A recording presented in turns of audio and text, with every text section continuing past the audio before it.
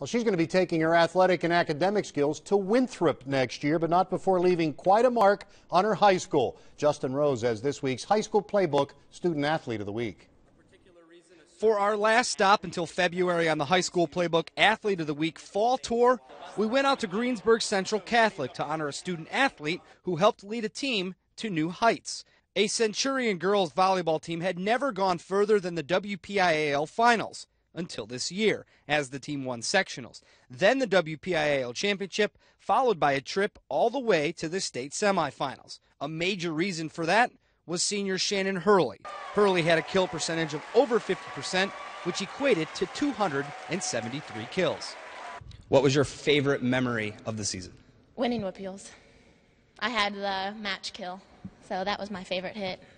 The team finished with a school record 20 wins and didn't have a loss until that semifinal game, something that Hurley and her teammates are very proud of.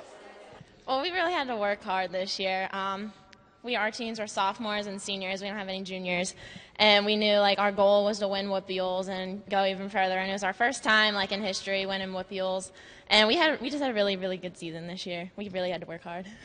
Our good friends and sponsors from Clearview Federal Credit Union were on hand to present a $250 gift to the school's General Scholarship Fund to help future Centurions achieve similar success in the classroom and on the playing field.